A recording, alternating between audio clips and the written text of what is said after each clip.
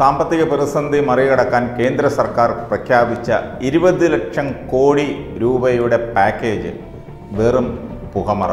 പാക്കേജുകൾ പ്രഖ്യാപിച്ചപ്പോൾ സാധാരണക്കാരന്റെ കൈകളിലേക്ക് പണം എത്തിക്കുന്നതിന്റെ ആവശ്യകത കേന്ദ്രം തിരിച്ചറിഞ്ഞുവെന്ന് കരുതിയിരുന്നവർ നിരാശരായി. രാജ്യത്തെ മുഴുവൻ ജനങ്ങളെയും പറഞ്ഞു പറ്റിച്ചു. പൊതുമേഖല മുഴുവൻ വിറ്റ് തുലയ്ക്കാൻ വേണ്ടിയാണ് ഈ പുതിയ പാക്കേജ് പ്രഖ്യാപിച്ചിരിക്കുന്നത്. പൊതുമേഖല മുഴുവൻ വൻകിട കോർപ്പറേറ്റുകൾക്ക് അടിയറ വയ്ക്കാൻ പോകുന്ന നടപടിയാണ് ഈ പാക്കേജിലൂടെ നമ്മൾക്ക് കാണാൻ സാധിക്കുന്നത്.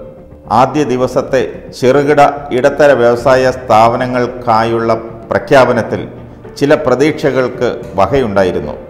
വായ്പയായിട്ടെങ്കിലും പാവപ്പെട്ടവർക്ക് എന്തെങ്കിലും കിട്ടുമെന്ന ഒരു ചെറിയ പ്രതീക്ഷ.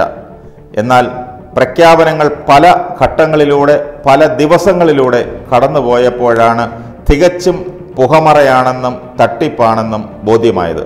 ഒരു തരത്തിൽ പറഞ്ഞാൽ ഈ പ്രഖ്യാപനം ധനമന്ത്രി നടത്തിയ ഒരു നയപ്രഖ്യാപനമാണെന്ന് വേണം കരുതാൻ. അതും സ്വകാര്യവൽക്കരണത്തിലേക്ക് രാജ്യത്തെ തള്ളിവിടുന്ന നയ വ്യതിയാനങ്ങൾ വിമാനത്താവളങ്ങൾ ഉൾപ്പെടെ പ്രതിരോധ മേഖല വരെ വിറ്റുതുലയ്ക്കുകയാണ്. കൊറോണ കാലത്ത് ഇത്തരമൊരു പ്രഖ്യാപനത്തിന്റെ സാഹചര്യം ആർക്കും പിടികിട്ടുന്നില്ല. ചുരുക്കത്തിൽ ആഗോള കോർപ്പറേറ്റുകൾക്ക് ചുവപ്പ് പരവതാനി വിരിക്കുകയാണ് കേന്ദ്ര സർക്കാർ ചെയ്യുന്നത്. ഇതുവരെ പ്രഖ്യാപിച്ചതെല്ലാം തന്നെ വെറും കണ്ണിൽ പൊടിയിടുന്ന പ്രഖ്യാപനങ്ങളാണ്. ലോക്ക്ഡൌണിൽ പെട്ട് വലഞ്ഞവർക്ക് സഹായം നൽകാതെ ധനമന്ത്രി എന്തൊക്കെയോ പ്രഖ്യാപനങ്ങൾ നടത്തി രാജ്യത്തെ കളിയാക്കിയിരിക്കുകയാണ്. ആനുകൂല്യങ്ങൾ മുഴുവൻ വൻകിടക്കാർക്ക് മാത്രമായി ഒതുങ്ങി. കർഷകർക്കും കുടിയേറ്റ തൊഴിലാളികൾക്കും നേരിട്ട് അവരുടെ കൈകളിൽ പണം എത്തുന്ന ഒരു നടപടിയും ഈ പാക്കേജിലില്ല. സർക്കാർ പണം ചെലവാക്കാൻ മടിക്കുന്നു. മറിച്ച് ഈ പ്രത്യേക സാഹചര്യത്തിൽ കൂടുതൽ പണം വിമാനത്താവള വിൽപ്പനയിലൂടെയും മറ്റ് നേടാനും ശ്രമിക്കുന്നു. ആഗോള സാമ്പത്തിക പ്രതിസന്ധിയുടെ കാലത്ത് ഇത് രാജ്യത്തിന് നഷ്ടക്കച്ചവടമായി മാറുമെന്നതാണ് വസ്തുത. പൊതുമേഖലകൾ സ്വകാര്യ മേഖലയ്ക്കായി തുറന്നിടാനുള്ള കേന്ദ്ര സർക്കാർ തീരുമാനം കൂടുതൽ വിവാദത്തിലേക്ക് എത്തിക്കും.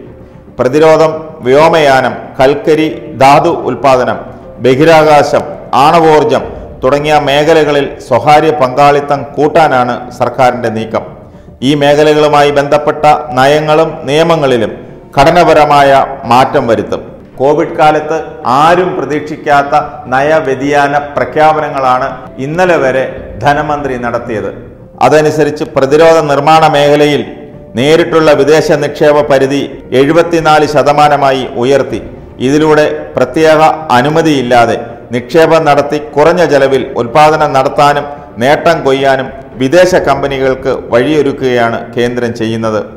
പ്രതിരോധ നിർമ്മാണ മേഖലയിൽ നേരിട്ടുള്ള വിദേശ നിക്ഷേപ പരിധി ഉയർത്തുന്നത് രാജ്യത്തിന്റെ തന്ത്രപ്രധാന താൽപ്പര്യങ്ങൾക്ക് വിരുദ്ധമാണ്.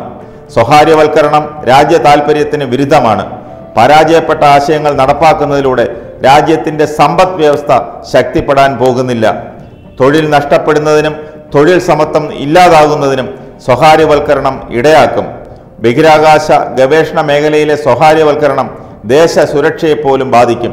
പ്രതിരോധോൽപാദന രംഗത്ത് വിദേശ നിക്ഷേപത്തിനുള്ള പരിധി നാൽപ്പത്തി ഒൻപത് ശതമാനത്തിൽ നിന്ന് എഴുപത്തിനാല് ശതമാനമാക്കാനും പ്രതിരോധ ഉൽപ്പന്നങ്ങൾ ഇന്ത്യയിൽ നിർമ്മിക്കാനുള്ള പദ്ധതികൾക്കാണ് കേന്ദ്രം തയ്യാറെടുക്കുന്നത്. കൽക്കരി ഖനമേഖലയിൽ ഇപ്പോഴുള്ള സർക്കാർ നിയന്ത്രണം സർക്കാർ എടുത്തു കളയുന്നു. പൊതു സ്വകാര്യ പങ്കാളിത്ത കമ്പനികൾക്ക് കൂടുതൽ ഖനനം നൽകാൻ കേന്ദ്ര സർക്കാർ പച്ചക്കൊടി നൽകുകയാണ്. ആകാശ യാത്രാ സൗകര്യം മെച്ചപ്പെടുത്തുന്നതിന് എയർ സ്പേസുമായി ബന്ധപ്പെട്ട് നിലവിലെ നിയന്ത്രണങ്ങൾ ഉദാരമാക്കും. ആറ് വിമാനത്താവളങ്ങൾ കൂടി സ്വകാര്യവൽക്കരിക്കാനാണ് കേന്ദ്ര സർക്കാരിന്റെ നീക്കം. ഇപ്പോൾ വിദേശ രാജ്യങ്ങളിൽ നടത്തുന്ന വിമാനങ്ങളുടെ അറ്റകുറ്റപ്പണിയും മറ്റും ഇന്ത്യയിൽ തന്നെ നടത്താൻ പ്രത്യേക ഹബ്ബ് സ്ഥാപിക്കുമെന്നാണ് ധനമന്ത്രി ഉറപ്പു നൽകുന്നത്. വിവിധ മേഖലകളിൽ കൂടുതൽ നിക്ഷേപങ്ങൾ കൊണ്ടുവരുന്നതിന് നയപരിപാടികൾ പരിഷ്കരിക്കും. നിക്ഷേപങ്ങൾ ആകർഷിക്കാനും നയപരിപാടികൾ വേഗത്തിലാക്കാനും കേന്ദ്ര സെക്രട്ടറി തലത്തിൽ വിവിധ സമിതികൾ രൂപം നൽകി കഴിഞ്ഞു. ഓരോ മന്ത്രാലയത്തിലും ഇത് സംബന്ധിച്ച പ്രത്യേക സെൽ രൂപീകരിച്ചിട്ടുണ്ട്. മാത്രമല്ല വ്യവസായങ്ങൾ തുടങ്ങുന്നതിന് ഭൂമിയുടെ ലഭ്യത സംബന്ധിച്ച് മാപ്പിംഗ് നടത്തി കഴിഞ്ഞു. അതേസമയം ഇരുപത് ലക്ഷം കോടി പാക്കേജിന്റെ വിഭജന കണക്കുകൾക്കെതിരെ രൂക്ഷ വിമർശനവുമായി ധനമന്ത്രി തോമസ് ഐസക് രംഗത്തെത്തി. കേന്ദ്ര സർക്കാരിന്റെ പാക്കേജ് വെറും പ്രഹസനമാണെന്നും തീവെട്ടിക്കൊള്ളയാണെന്നും ഐസക് ആരോപിച്ചു. പൊതുജനാരോഗ്യ മേഖലയെയും പൊതുമേഖലയെയും പൊതുവെ ശക്തിപ്പെടുത്തുന്നതിന് പകരം സ്വാശ്രയത്വം എന്ന ലേബലിൽ രാജ്യത്തെ സ്വകാര്യവൽക്കരിക്കുകയാണ് കേന്ദ്ര സർക്കാർ എന്ന് തോമസ് ഐസക് പറയുന്നു. ജനങ്ങളുടെ കയ്യിൽ പണം എത്തിക്കാനുള്ള ഒരു പദ്ധതിയും സർക്കാർ ഇതുവരെ പ്രഖ്യാപിച്ചിട്ടില്ലെന്ന് ചൂണ്ടിക്കാട്ടിയ തോമസ് ഐസക് വൈദ്യുതി വിതരണ രംഗത്തെ സ്വകാര്യവൽക്കരണത്തെ രൂക്ഷമായ ഭാഷയിൽ വിമർശിച്ചു. നിലവിൽ കോവിഡ് മൂലം ആളുകൾ മരിക്കുന്ന സ്ഥിതിയാണ് പലയിടത്തും. ഇത് തടയാൻ കേന്ദ്ര സർക്കാർ ഒരു നടപടിയും എടുത്തിട്ടില്ലെന്നാണ് ധനമന്ത്രി തോമസ് ഐസക് ആരോപിക്കുന്നത്. ആളുകൾ പട്ടിണിയിലാണ്. ആളുകളുടെ കയ്യിൽ പണമില്ല. ഇന്നത്തെ പ്രശ്നങ്ങൾ പരിഹരിക്കാൻ കേന്ദ്രത്തിന്റെ ഭാഗത്തു നിന്ന് ഒരു ശ്രമവുമില്ല. ജനങ്ങളുടെ ചെലവിൽ നിയോ ലിബറൽ രീതി അടിച്ചേൽപ്പിക്കാൻ ശ്രമിക്കുകയാണ് സർക്കാർ. ചെറുകിടക്കാരുടെ പലിശകൾ എഴുതിത്തള്ളാനോ വായ്പകൾ എഴുതിത്തള്ളാനോ ഒരു നടപടിയും സർക്കാരിന്റെ ഭാഗത്തു നിന്നുണ്ടായിട്ടില്ല ഈ പ്രഖ്യാപനങ്ങൾ വെറും തട്ടിപ്പാണെന്നാണ് തോമസ് ഐസക്കിന്റെ ആരോപണം. അതുകൊണ്ട് കേന്ദ്ര സർക്കാർ കടുത്ത പ്രതിസന്ധിയിലേക്ക് പോവുകയാണ്. ജനങ്ങളുടെ പ്രതീക്ഷയ്ക്കനുസരിച്ചുള്ള ജനങ്ങളുടെ ഉന്നമനത്തിനുള്ള എന്തെങ്കിലും പദ്ധതികൾ ഉടൻ പ്രഖ്യാപിച്ചില്ലെങ്കിൽ വലിയ ജനരോഷം രാജ്യത്തിന്റെ വിവിധ ഭാഗങ്ങളിൽ നിന്നും ഉയർന്നു വരുമെന്നുള്ളതിന് യാതൊരു സംശയവുമില്ല. ഇല്ലെങ്കിൽ കോവിഡ് പാക്കേജ് എന്ന് പറഞ്ഞ് മോദി അവതരിപ്പിച്ച ഇരുപത് ലക്ഷം കോടിയുടെ പാക്കേജ് ഇന്ത്യക്കാരെ മുഴുവൻ പറ്റിച്ചെന്ന് കരുതേണ്ടി വരും.